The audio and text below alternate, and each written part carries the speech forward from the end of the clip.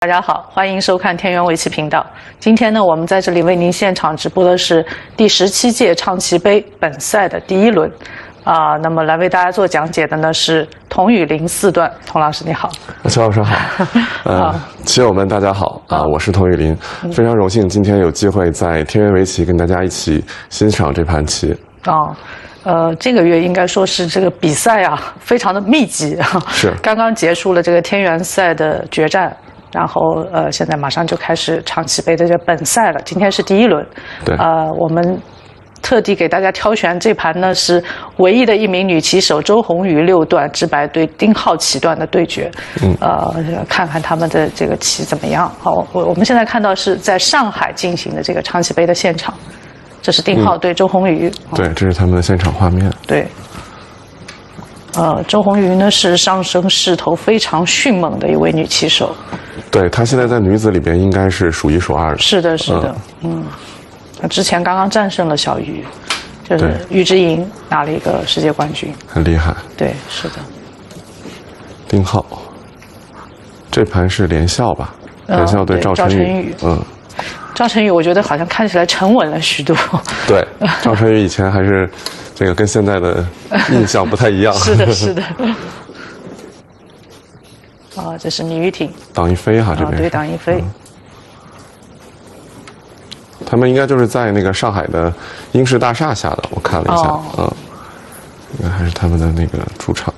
对，就好像觉得已经很久没见到那么多棋手，就是顶尖一流的棋手在一个赛场里面一起比赛了。对对对，尤其是尤其是这个面对面哈。嗯，没错，就是面棋。你看大家也没有戴口罩，啊，希望能恢复到原来的这种竞技状态哈。是。我觉得不管怎么样，就是面棋啊，嗯，跟往期还是有点区别。再加上这个戴口罩的因素，我始终都觉得好像有点影响。对，影响这个发挥可能还有一点点。嗯。啊，这是新科天元啊，米玉挺今天对阵夏晨坤是吧？对。啊，不是那个顾子豪。嗯。顾子豪这个体力很好，刚刚下完，好像是上周嗯五还是上周六啊？上周刚下完。对。这又杀到了这个超级杯的现场。对，同理离上海还比较近。嗯，对。啊，这是范廷钰刚刚看到的是。好，那我们下面就来进入棋局吧，看看这盘呃棋下的怎么样。嗯，这盘棋是这个丁浩的黑棋。嗯。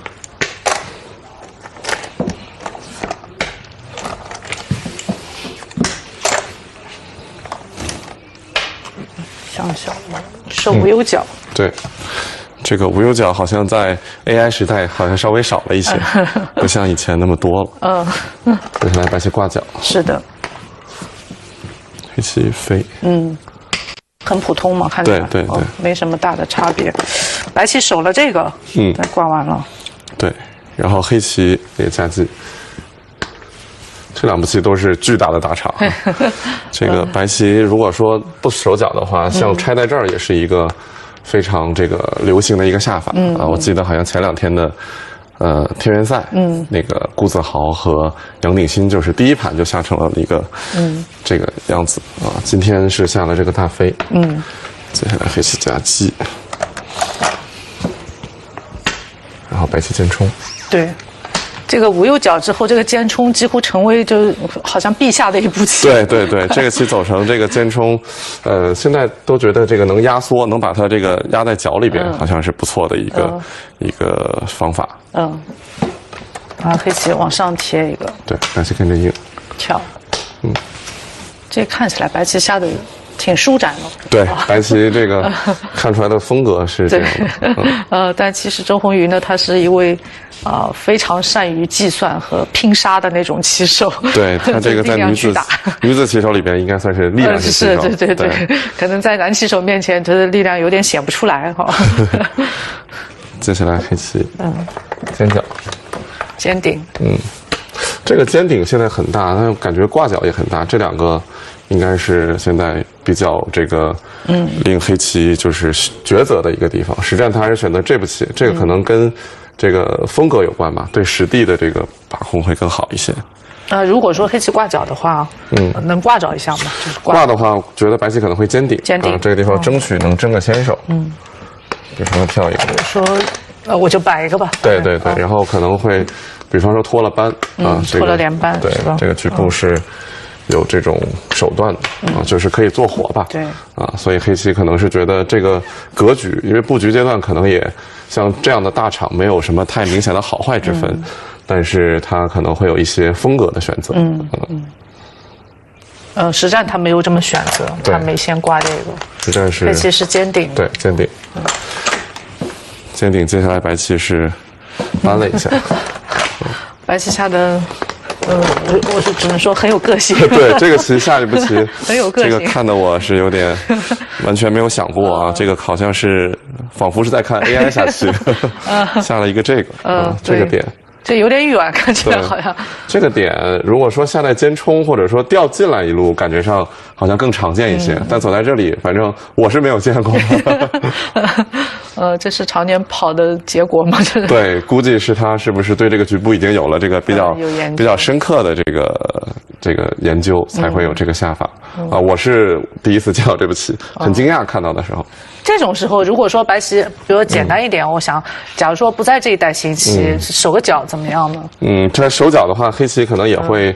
是不是把这个空围起来？这样的话可能就会比较立体。就觉得太大了嘛？对对对，所以白棋可能是想着先去这个压缩一下黑棋啊。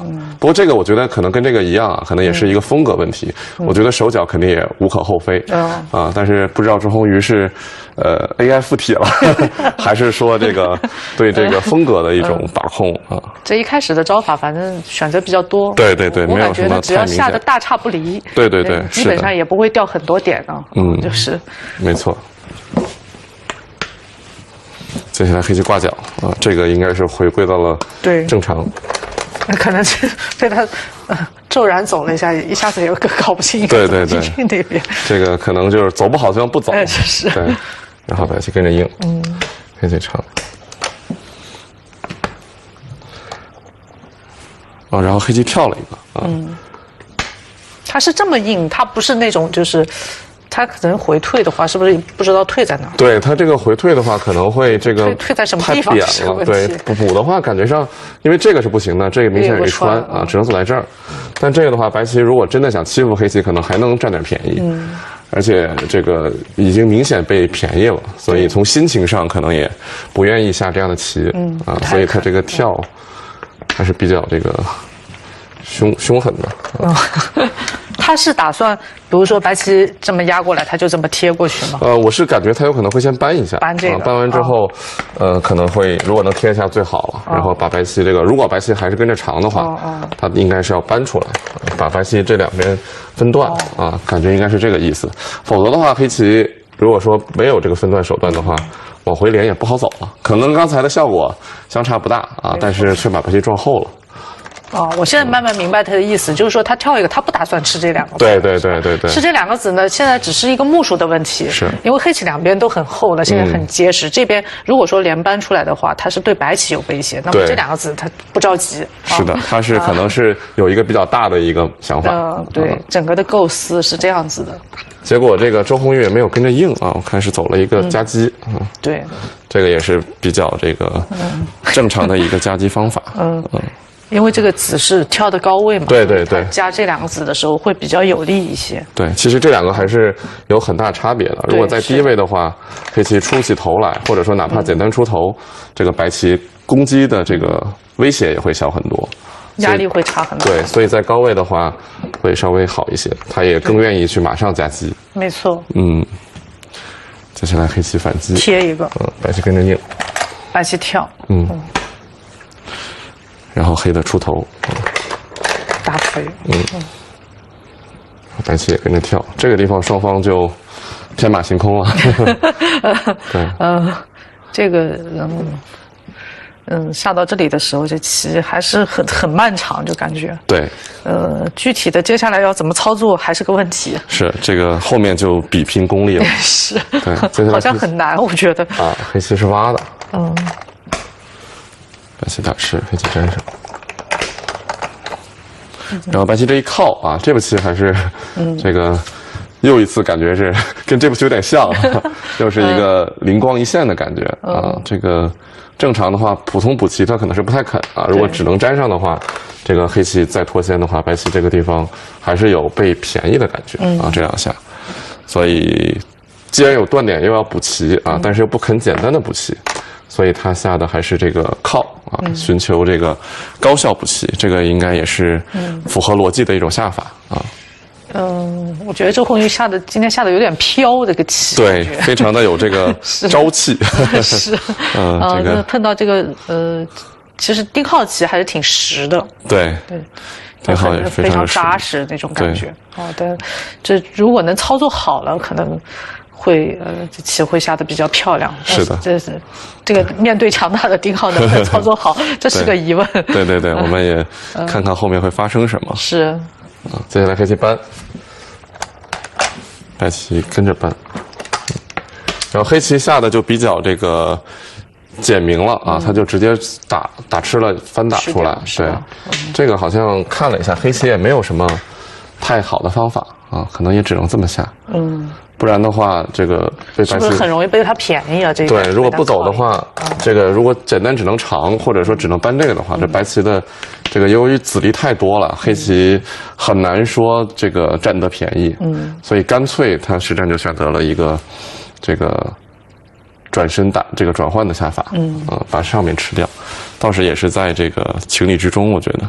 这个好像黑棋就很难动得了劲儿了。对，再加上你让人家加厚的话，你这三三个子就越来越薄。对，这个白棋如果走后，黑棋这三个子就没有了这个 这个方向啊。可能本来是两个人一起跑，现在 白棋自己安定之后，黑棋只能只剩下自己了。这个没错，有点不肯嗯，所以实战搬上面，还是选择了一个简明的下法。嗯，黑棋打吃。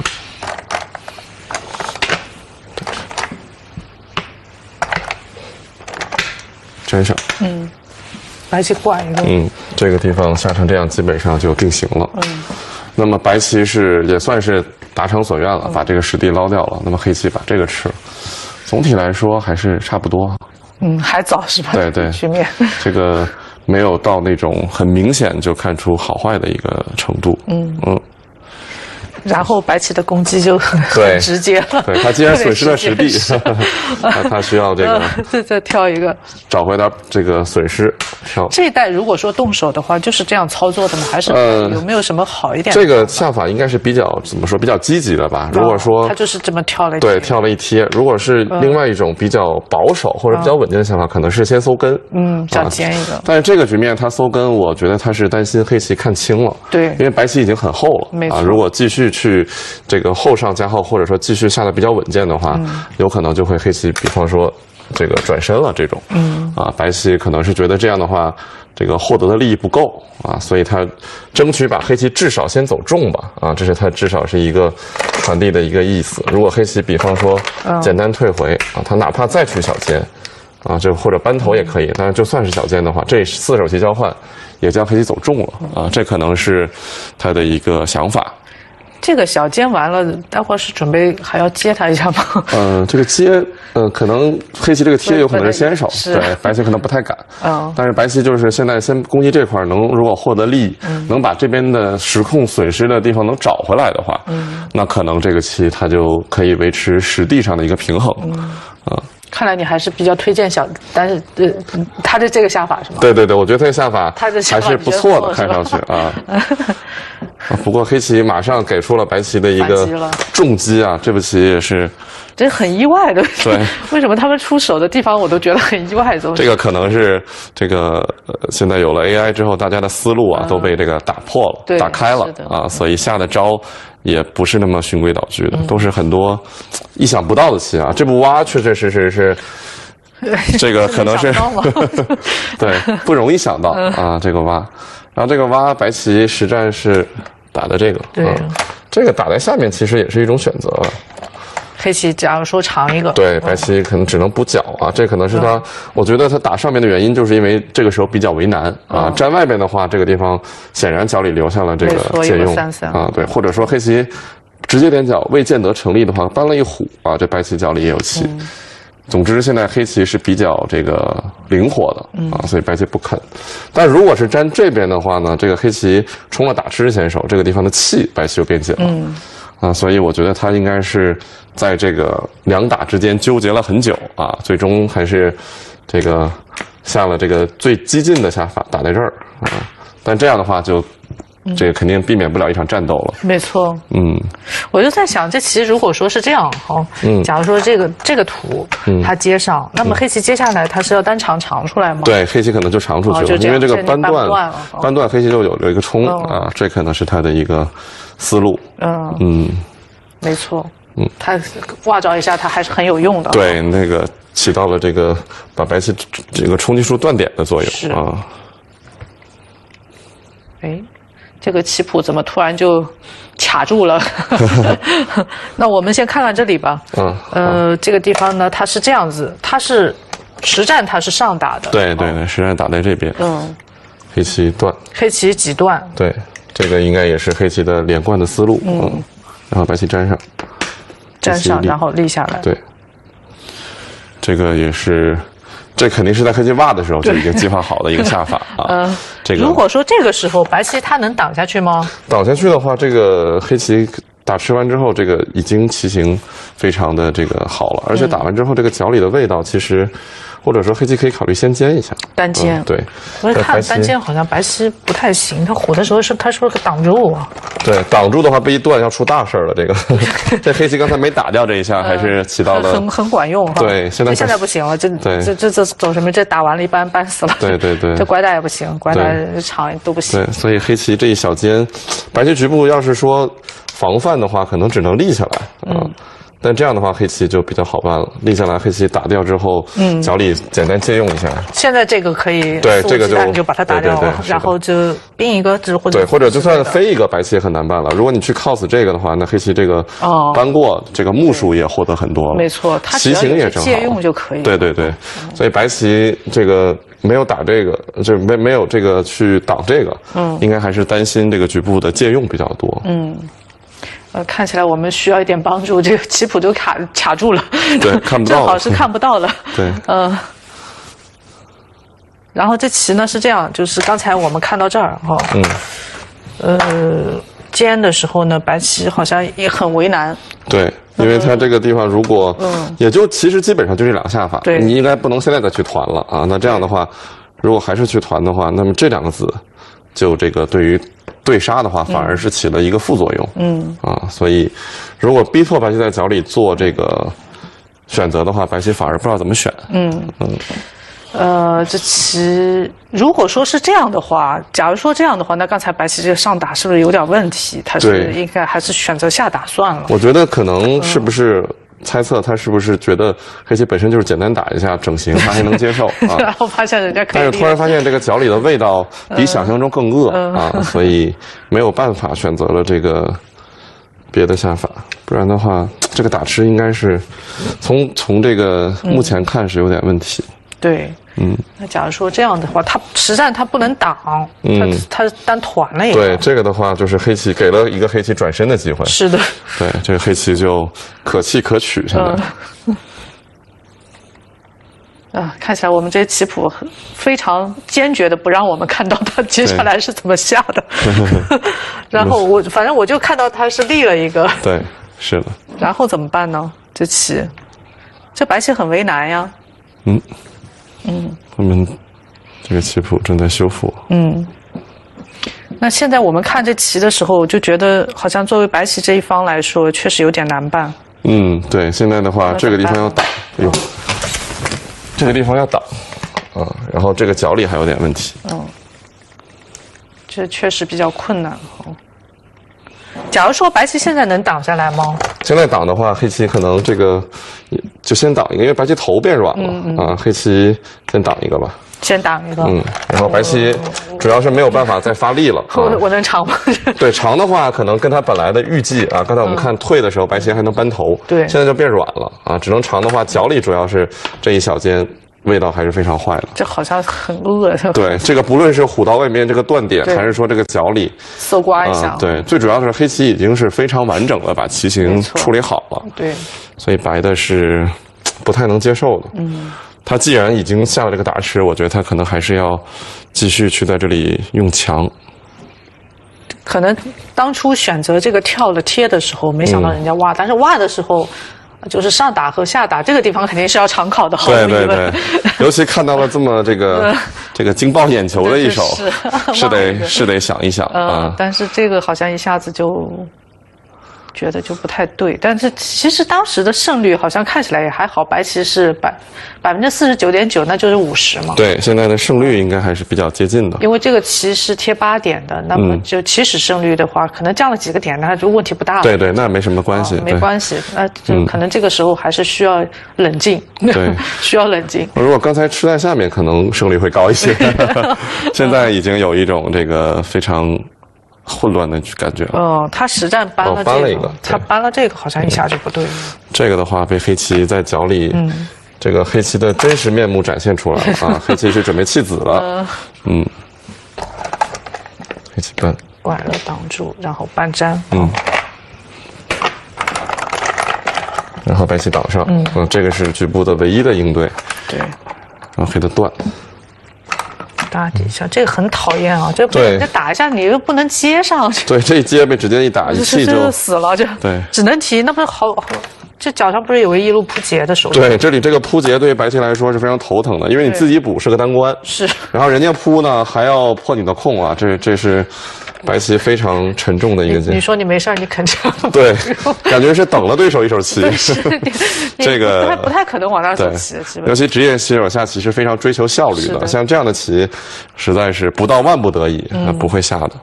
嗯，接下来黑棋出头，然后白棋再把它逼住。对，这个就觉得黑棋转身很成功。对，主要是脚里留下了味道。这个随时一扑劫，白棋都是非常沉重的啊。嗯。他先外面走了一个，在这儿走了一个，对，跟白棋交换了，白棋也不敢不应，不应的话，那两个子儿可能会被黑棋直接在空中，是不是就给惊昏了？对对对，这一类的，照得很远。对，这个白棋活了还可以，如果死了的话，这个效率实在太高。对，所以白棋出头也是一个这个尖冲棋形的一个常用的一个出头方式啊。我这个很讨厌的是，你即使不走的话，对，还是这个问题。这个地方白棋实在是没有这个 没有心情去补啊，这个换谁来可能都不愿意。对对对，他走这儿。哟，黑棋来了，黑棋马上就去造劫财了，爬了一个，嗯，白棋一定，直接就开劫了。哦，对，下的哇，这个很刺激啊。这一扑哇，这刚才我们一直说是。不远的将来，但没想到他马上就来了。对，这个太猛了，直接扑上来。他是这儿爬了一个之后，这儿就有劫财。对，有劫财了，这个就很明确的劫财。否则，如果先开劫再爬的话，白棋可能虽然说这个地方也欠着棋，但是但是没有确定的话，他有可能脱先了。没错，但是现在对对 对，这个就完全不一样了。这个白棋不敢说是再脱先了。嗯，所以丁浩这个爬应该是胸有成竹的。对，然后再搬这个。搬一个是指本身劫，嗯，能被断一个断死了。嗯，但是这个时候其实我也在看白棋能不能这样，就吃了算了。当然这个的话可能。本身这一下便宜太多了，对这个白棋想出头的话，比方说黑最简单这一搬啊，白棋这个已经是得回去了。所以为什么说围棋是这个劫争是最难的？就是因为劫争有的时候可能看似是能吃得起，但是却因为这个损失过大，这个劫变得价值太小，所以他又不能去下啊，还是只能跟着硬，这个就有点痛苦了啊。劫还没打赢，但是已经被人家先占便宜了。这个非常的难受啊，下心里不太舒服。对对对，提了一下。黑棋就相反，非常爽。嗯，白棋找劫，点了一下。嗯，看上，白棋提回来。嗯，然后打了这个找劫。这白棋的这个比较顺手的劫财就这一个啊，黑棋的话现在是已经两个了。嗯，然后到对，这别的劫财去哪儿找？白棋已经没劫了啊。哦，哦，实战去只能去这个二路拖一个。嗯，这个就对黑棋的威胁就没有那么大了啊。那黑棋肯定抓掉了。对对对，这个太大了。这个转换好像不太成比例啊。黑棋这个不但是将自己的这个。孤棋或者说这个薄弱的棋做活，同时还把黑棋的大角，把白棋的大角转成了黑棋。嗯，这个损失白棋是难以承受的。这个形势好像到现在是，终于是比较这个明确一些了。嗯嗯，其实刚才呢，这这个棋呢是这样，它就这确实是不太肯。嗯，如果说白棋这里能补掉的话。嗯，这将来二路飞一个黑棋也很难受。对，但白棋补的话，黑棋可能先攻那边啊，然后这个地方将来黑棋对黑棋可能要是攻完占得便宜之后，可能就做活了。主要是这个棋确确实实下一单关，对这个职业棋手下棋的时候，这个可能是万般不肯啊。尤其我们从前面来看，这个周鸿祎一直是一个这个比较积极冲击的一个态度，可能这个还是不太肯下这一团。没错，嗯。这很讨厌，就是对对对，实在是下出来心有不甘。下单官这个一般都是，嗯，不到万不得已不下的招。然后黑棋也没有给你别的机会，他就走了一下，然后对对对，马上就给你打打爆了，对，省得你也不给你这种转身的机会。呃，待会儿真的咬咬牙，我团上得了。是，可能是白棋也想着，你如果再不走，我就闭上眼睛团就算了。因为这团完了，这对对对，很严厉啊，确实。没想到这个丁浩，这个操作很迅速。嗯，白棋打起来。嗯嗯。这样看起来呢，白棋在外面走了三手棋，但是这个角就被这个角太大了，实在是，主要是一会儿再跳一跳，这个当初的这个巨大的一块空已经不剩多少了。嗯，然后这一下扳着外边，其实黑棋也比较轻，嗯，白棋确实比较比较亏，嗯。哦，确实黑棋下的很出色，应该说。对，这是挖之后，就之前反正黑棋也没有什么有问题的地方。对，哦，然后突然间一个这个。一个好手，对对对，一招制敌，然后白棋就没挡住，好像。这个白棋好像形势有点问题了，现在。这个白棋形势已非了，哦，又冲下来了，这一夹，夹了一下。白棋整盘棋一直都在寻找战斗的机会，又冲下去了，实战，这个非常的凶猛。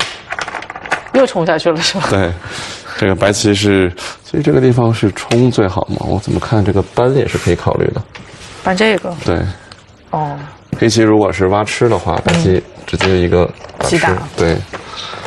这如果提的话，我就再高打。对对对，这样的话可能相对来说柔和一些啊。白棋实战那个肯定又是要形成一场战斗了，但这样的话，黑棋有可能会这个，因为现在嗯，有可能就退一个算了啊。白棋虽然说提了朵花，但是黑棋全部都把这空守住了，这个对也是比较简明。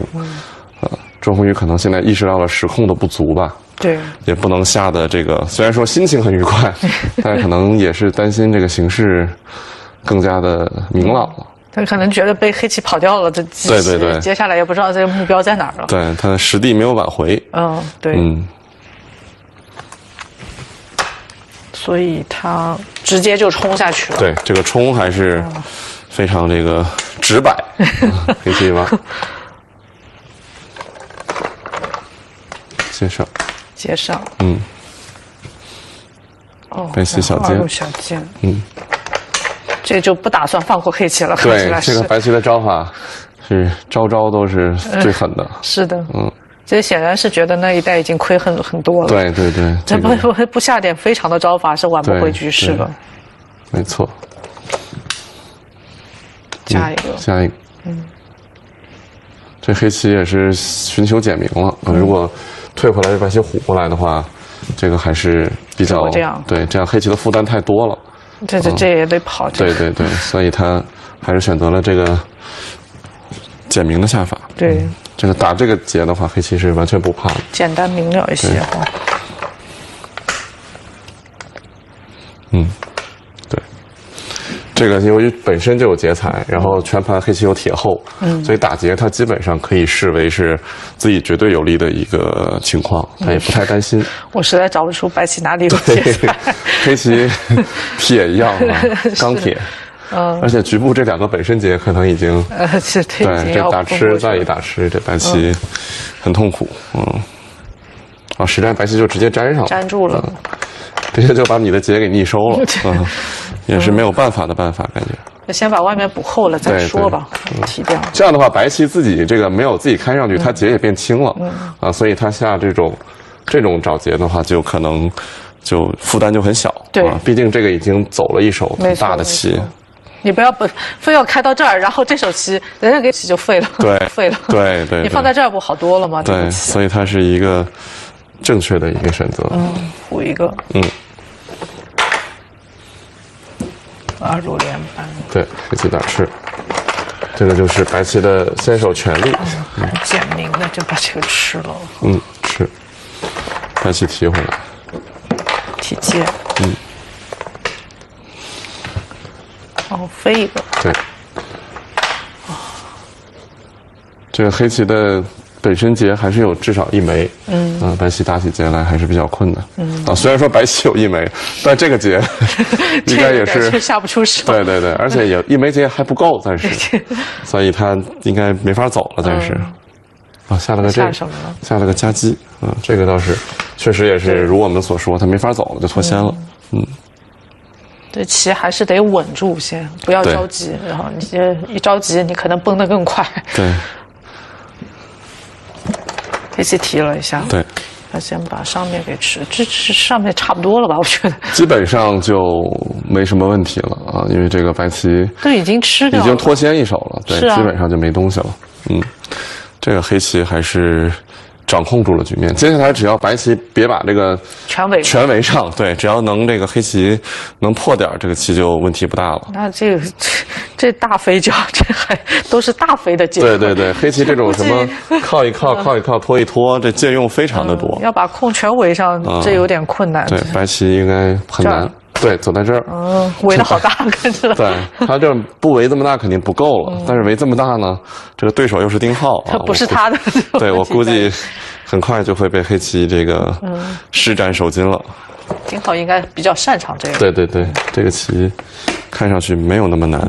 嗯，白棋贴出，这个也是啊，白棋整盘棋都这个充满着斗志，这是斗每一步棋志昂扬。对每步棋都是拼到了最猛。嗯，然后再靠这个。对，这个黑棋的这个下法，应该是棋友们应该是应该去好好去学习理解一下。这种在腾挪的时候下的这种都是贴着对方走、啊，这个一般是碰啊、靠啊、拖啊这种棋，一般是腾挪的时候最经常使用的一种方法。没错啊，这效率也效果也比较好。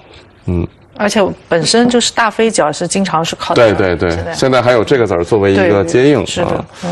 然后待会儿呢，这个子待会儿有两有两下，待会儿还能跳出去，对还能长出去。就是黑棋感觉现在是游刃有余，嗯怎么下都问题不大。反正这里面要出棋，对于丁浩来说应该是很容易的对一件事情。对对 对，周鸿祎也没有办法，只能是这只能硬着头皮杀，对这不杀也不行啊。这个每步棋果然是被 每步棋都是最猛的。我觉得他心里自己心里也在想，嗯，估计是吃不掉的。对对，自己也不觉得自己能吃得掉但是。形势不利啊，棋也得下着也得拼啊对，也得拼。嗯，哇，这黑棋教科书般的下法来了。打吃，对，嗯接上接上，然后看大家是不是看得眼花缭乱的，上靠一个，左靠一个。对，，这个就是腾挪经常使用的嘛，靠碰这种，正好就用上了。对，这白棋现在是是这个地方是黑棋是可以弃掉一部分的，但白棋是一个都不能少，几乎要把 所有的这个空间全部全留下。对对对，一个都不能少。这个如果说白棋，这好像也不太对。对，吃到黑棋简单往下一立，这个白的封不住了已经。哦嗯，就这样就行了，是吧？这个白棋的这个挡住的话，断点太多了。然后呢，这个地方黑棋从二路打，脚里拐，这个我我都不知道往哪。对，作为白棋来说，确确实实，比方说这个挡的话，这个最简单的图我们看一嗯，下。那肯定不行了。对，这这对找三路一断就啊，单走吧。双将吃跟这个拐吃，这个是最简明的一个图。抉择一下啊，你要哪对个？白棋几乎是一个瘫痪的状态嗯啊。但是，比方说我们是说退的话，黑棋这个二路这个打回来，对打完之后脚里一拐，这个活起棋来啊，这个打不知道打不得着，直接拐也可以。单拐，对这个黑棋已经活了，基本白棋除非是帮他打这个，但这个又是一个更更没法打的劫。这个抓掉的话抓到这儿，而且对他像他这种压全是劫财，是是是，啊，这没法打这劫。对，所以就没有办法，这个地方白棋这个这么下应该是明显不行的。嗯嗯，所以实战他是下的是他这样的棋形，他是横靠了一个白棋是往角上长，对长三三啊，这个也是没办法。嗯，黑棋二路一打，哦这个小时候老师教的招全用上了。这是教科书，这对，打了一冲这样下的，对。这个白棋以，前好像经常出头的时候这么打的，对对对对，这是打了往下冲，对非常这个愉快啊，一边掏空一边陟孤，太爽了。冲吃，嗯，然后再搬这个，对。哦，这个局部 确实，这个黑棋很精妙的是还没有打掉这一下。对。啊，白棋什么时候打，黑棋什么时候打。你反正永远别别想走这个，对对对，这个被是人家的虎口，对。你就别想了 这件事儿。对，所以白棋搬的时候，黑棋也是还是继依然保留连搬啊，这一串儿都是真的是可以拿来这个做教材的这个下法、啊，下的非常介绍，精彩。嗯。哦，白棋接上，嗯，哇，这黑棋这又粘了一下，哇，舒服。这个好像出棋出的简直是对，不能再这个白的现在我觉得白棋要调整这个目标了，只能是先把下边吃掉，上边先再说吧。嗯，不然的话，这个棋好像因为自身现在也受到了这个压迫和威胁，所以有点担心了。现在提白棋，如果说白棋，哦，他是先团了一下，他嗯，如果直接加的话，对他单团一个黑棋这个打吃先手的话，嗯，那肯定是先手。对我这个靠一个是不是白棋就比较紧张了？哦，可以单靠。对，这个白棋搬不动，如果长黑棋能压过来的话，这个子儿肯定是要不掉了。然后黑棋只要逃掉，白棋就算全给白棋吃了，白棋只要这个大块儿被跑了呀，白棋的木基本被压缩的是肯定不够的。而且待会儿黑棋只要打到这下，压到这一下，再横跳一个，这里已经是个眼了，对再做一只眼就可以了。对对对。那好像处理起来很容易哈。对，这个白棋这白棋 我也不知道走哪。而且我看了一个图，大概是只能，这个如果说双方和平解决的话，啊，只这样能长，，嗯，啊，然后黑棋挡住，挡住。白棋顶，啊哦，这倒是，你也不至于有什么致命的棋，但是搬的时候啊，这个时候黑棋可能应该不会打吃在这儿啊，因为这个提了不活，黑棋简单虎一个是先手，嗯，啊，这样让白棋在空里补一个，那么黑棋再逃出来。哦，那太简明了。对这个图，白棋虽然说是安全的联络了嗯啊，但是对于黑棋来说就是安全运转。这白的太简明了对这个图，白棋肯定是不行的啊。周鸿宇我估计也看到了这个图，但是估计是一秒钟就给否否掉了啊，这个没有办法争胜这么下。没错，这显然是不够，这样下对，不过这个黑棋确实是比较好下，真的。团这个，嗯白棋很麻烦，确实。嗯，要把人家左右两边吃掉，这几乎是不可能完成的任务。对对对，呃，只是是看黑棋他想怎么处理，嗯想活哪一边，活得怎么样，对，他还是靠在上面。嗯，这下没有打，嗯，这下没有黑棋没有打。这下没走掉嗯，，黑棋这个保留了这个宝贵的劫财啊，这个他在他的认知里，这部棋肯定是永远都能打着的。对嗯，反正什么时候打白棋也不能不要。对。白棋跳黑棋上贴白棋，哇，这个黑棋好像比怎么感觉比刚才我摆的那个好一点标，还要还爽好。一点。如果他接上，他就拐完了，全部紧住了。对对对这个白的似乎是，如果是这个图的话，那简直太愉快了但。是他也没有别的图了呀那。就是，天哪，这下的，这个好像比刚才那个图还要惨。呃，这这反正这下和这下先手，那我就虎一个吧，基本都，活了已经。活了。这个打吃又是先手，对啊，这这个虎已经虎一。个这儿已经有眼了，那还怎么对对对吃啊？嗯，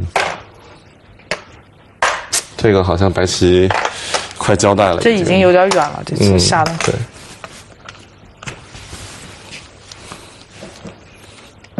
啊，哇垂死挣扎。哇，这个挣扎是要，啊，真的是我被惊到了，真的是要弃子了，我被。惊到了。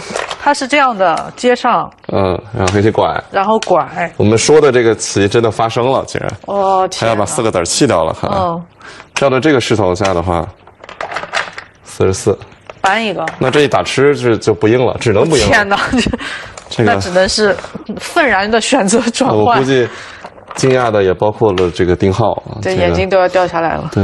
不过那个图也确实很惨，反正都很惨，这个棋好像已经看上去是很难了，这这都很惨，看起来。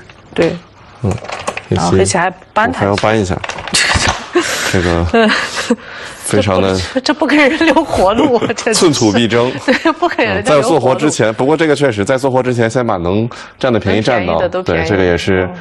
棋手的一种习惯嘛，否则的话，这个将来搬不见得搬得着。嗯，现在搬白棋是无条件的跟着硬吧，只能吼吧。搬一个他就弯一个，哎呦，这这这简直有点惨，嗯，真的是惨了。一起做活，这个应该是，嗯，基本上可以说是宣告胜利的一步。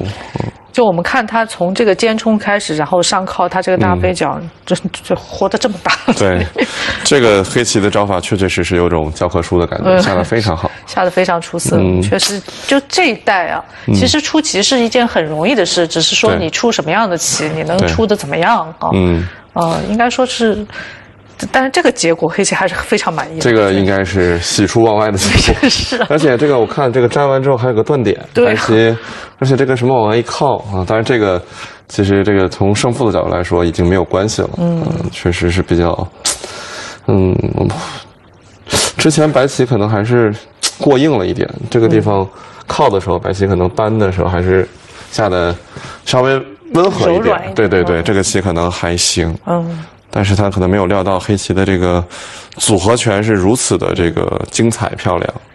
就是这棋呢形势不好的时候，一定要忍住，一定要忍忍耐，默默的等待机会。嗯虽然说丁浩他不太容易犯错误，但是你如果说激进的话，只会导致更快的灭亡。对这个棋，这个进程出乎意料啊！这个周鸿宇也是非常有实力的棋手但是碰上这样的一个局面，也基本上是没有束手无策吧，算是。对我估计，呃，嗯。他今天回去会好好总结，像丁对上这样丁浩这样一流的选手，对。自己差距到底在哪里啊？确实，毫无疑问他是有差距，嗯就一个局部，我就 基本就已经不太行了，好像看起来。后来在这个局部，呃，应该算是还有一点念想，嗯，但是这个黑棋发挥太出色了、啊，加上太好了。加上白棋下的确确实实有点急躁，主要是不是好像看起来他的每步棋，呃，都很合情合理，也不是什么很难的找法。对，有一种是进入到黑棋设计的这个剧情当中来了。对是的像黑棋这个这个靠二二路打扳了连扳，嗯包括后来这一顶，这都是都下的很好都是这个典型的手筋和局部的这个巧手。没错啊，正好全用上了，还全都成立。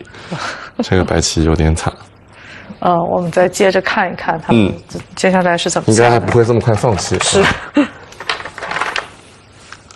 搬一个，然后黑棋下什么了？哦，他做活，然后白棋提了一下，哦，哦，他还接一下，哦这个。人家还有一堆劫财，这简直是欲哭无泪。呃，有点惨。嗯。这个，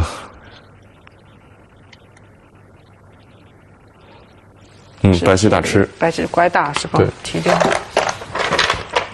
黑棋提回来，啊，白棋提回来，嗯，白棋提掉了黑。棋在断。哦，这刚才说的招，它一个一个的在实现。是啊，这个争子是，争子还争不掉，还争不掉哇！那太讨厌了。本来 这白棋这这这怎么怎么弄？这只能打了粘上吧，呃，感觉。不知道怎么办。这对本来想争子有利嘛，还冲过来，对，但这个争子是黑棋正好，那争不掉，被人家就冲死了。对，那就就 没法看了，那就没法看了。嗯，只能打另外一边算了。这打这个，对，黑棋先提劫还不马上长，这个还要当劫财去使。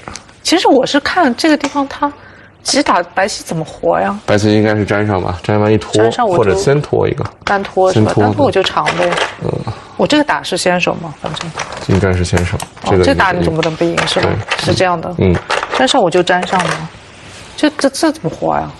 嗯，这个局部这么看的话，应该是死的，因为白棋这定活不了虎的话，黑棋点，点了加一个就死了。。对然后你把我弄断了，我就拐打个街上，活了不就完了吗？对，我再看有没有什么这个一路脚上也没用，粘上之后点可以挡，啊，没用，对呀也是可以的，嗯，应该也是没问题。我粘上或者虎都行吗？对嗯，这个黑棋活棋不成问题，是。嗯，而且这个打吃，只要能打着的话，问题就不大了。打吃它不硬了是吧？嗯，这个应该得硬，这不硬，不硬，这一会儿再被这个捞捞回来，这一度过，这个 实在是是太大了，好像所以我觉得黑棋急打好像白棋已经死掉了。嗯过作为黑棋来说他飞在这儿是有道理的。对，作为黑棋来说，可能是先打着，反正这劫我也是免费的，啊对，不着急 这劫主要是这劫找的都是便宜的，所以如果真的到了那种千钧一发的时刻，那可能就算了，算一算可能就。急打在上面。对，现在还还早啊，对黑棋来说还是一个愉快的过程。嗯，行，慢慢的享受。对对对，这黑棋很舒服下来。棋提了一个，现在是劫在白棋手里，然后他他断了一下，然后黑棋提劫了。对就刚才断一个找劫打打吃，对对，然后白的是飞了一个找啊，什么劫？其实白的等于说也是也是可能看到刚才那个对那个棋了，就没有去下了。飞这个黑棋，劫打黑的就把这个结不在一个好的位置上，应该就可以了。啊，尖了一个。对。这个就问题不大了。这个刚刚都没齐，现在 就是就是这更尖一个太扎实了。更稳了这棋。嗯，这个白的只能是嗯，按照我们的说法，就只能调整调整心情了。这个现在这个局面。总结一下。哦哦，那这个 飞它总结我看懂了，它飞还是有道理的。它把这个长给防住了，长的给粘上了，粘上了，他啊等于说把它蒸掉了。对逆收了说它争子不利的。对对对，它逆收了吧？这个嗯也有它的道理。没错，然后白棋还在顽强粘一个，推了一冲，挡住。嗯，黑棋叫吃，嗯，白棋建住，嗯，这白棋还是想微微控重要。对，中间看看能不能，如果说把这个。嗯那只能这样吧，对还能怎么样对 像不能怎么样。黑的对对如果能靠过来，当然很大。对对对黑的还并回来着。对，这最后一个应该说最后一个打勺的地方了。嗯，这黑棋除非是退在这儿，但这个可能性太低了。嗯，退被白棋简单的一并，就断开了，对，这一并完之后粘上，挑下来。对这个难度系数，可能对于丁浩来说是零，没有难度它啊。并在这儿。对，但病的话倒是有一个将来白棋这一飞很舒服。，对这个官子可能也是丁浩这个比较难受的地方对，这被爬一下，爬一下，嗯，只能粘上。回去。对，这可能黑棋猴完之后虎稍好一点，能走着一下。哦，对，但这个基本上也是让白棋先手便宜了啊，这个是没什么办法的事情。嗯，对，嗯这个不细，好像 要下的细腻一些。嗯，但是这个时候白棋可能已经是，嗯，还是加了一个在尝试尝试。看看能不能把这个差距再哇拉小一点。我在看有没有黑棋点机会。我在看黑棋的这一次啊，怎么最近今天这个手筋叠出啊？对，这白的断，嗯但是这 丁浩心想，你不是说你这个力量大吗？计算强吗？今天我给你看看，今天我给你看看，哇，这一点又是非常嗯这点子好像又不太会了。这个动不了了，局部哈。这还会动吗？如果说我粘上肯定是被吃回来嗯了，这个是明显不行。如果是把这个字顶回来，这个又再次启动了刚才我们说的那一场，这回好像跟争子就没有关系了，因为当白棋粘的时候，黑棋贴成为了先手啊，对这争子就没关系。这一段，这个三气杀两气就简明的把白棋把这儿吃吃了。对，对，所以刚才是刚才是因为他接住断的时候可以把它蒸死，夹着一下就不行了。现在黑棋这个操作了一番之后，增加了一个先手，延了一气，这个致命了。嗯，所以这白棋好像被点一下之后，确实是没法下没。法动了。嗯，点白棋，要是走下去的话，只能粘上。粘这个的话，那就虎一个。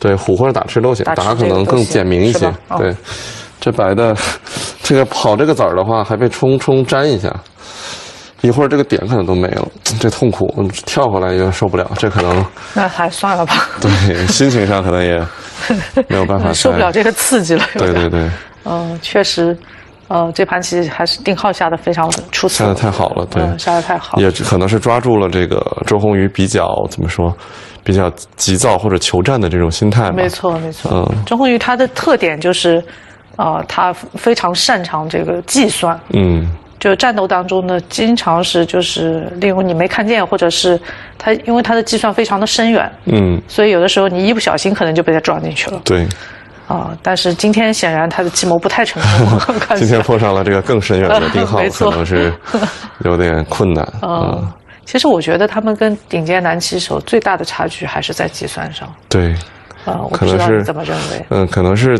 就是有些节奏上，像有的地方该不该战斗，可能是战斗能不能取得决定性的这个呃好处或者说优势，可能在这些把控上，这些嗯可能跟顶尖棋手还是有一定差距。对，嗯，你要是说。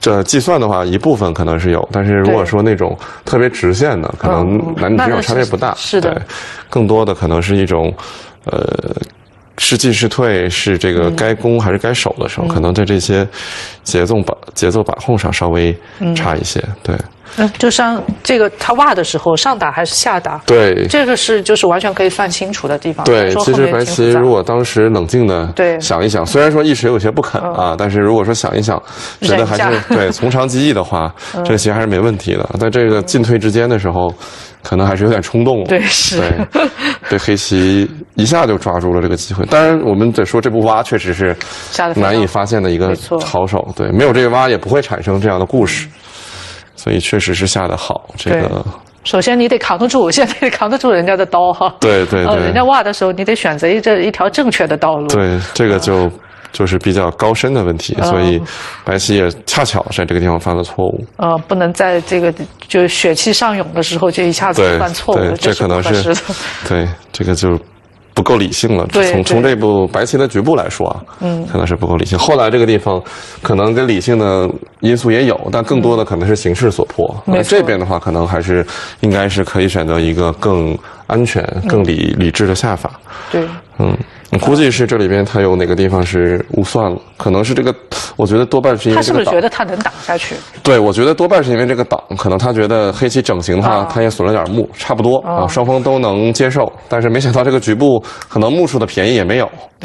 对他挡不下去，那这棋就没对这个转身，我想以周鸿祎的实力，肯定能看出来这个白棋困这肯定觉得不是不对但是他是临时的一个转变啊。呃，但是打完了，然后发现挡不下去，那就 就对对对打完了你就不能后悔了。对没有后悔药，这就不能再，那是也不能回棋啊。是，所以只能是 这个寻找。嗯，其实这这一代就白棋下的还挺好的。对尤其这个这个碰，我觉得还是能体现他的非常良好的棋感。没错，结果上来说，我们看当时那个，不论从棋的这个转换，包括从胜率上来看，白棋都是不错的。对但是，嗯，也其实也就是这里。嗯。对，所以这跟呃，我觉得周鸿祎已经挺强的了。就是对说实话，他在女棋手当中也是非常出色的，应该是数一数二的。对对对，嗯已经非常强了，他的计算啊什么已经到达一定的呃就一定的水平了。嗯，但是跟顶尖男棋手相比呢，确实就你就不能有一个地方犯错误，对一旦犯错误就万劫不复了。是，至少从这盘棋开始。是，确实 不能有一点失误，这是很非常重要的，你一点失误都不能有。所以，呃，我想周鸿祎。呃，就通过对顶尖男棋手的对局，对呃，可以对他有些帮助吧。啊，那这盘棋最后的结果呢，就是，呃，执黑的丁浩是中盘胜了周鸿祎。嗯，那么这样一来呢，他就丁浩就进入了十六强，明天将进行十六强的比赛。嗯那么这盘棋呢，我们先给大家讲解到这里，我们多留一点时间给下一盘非常精彩的对决啊，就是啊、呃姜维杰对唐伟新的，嗯对吧？啊，世界冠军之战。是的，是的。好，那我们先休息一下啊，一会儿继续欣赏。天元为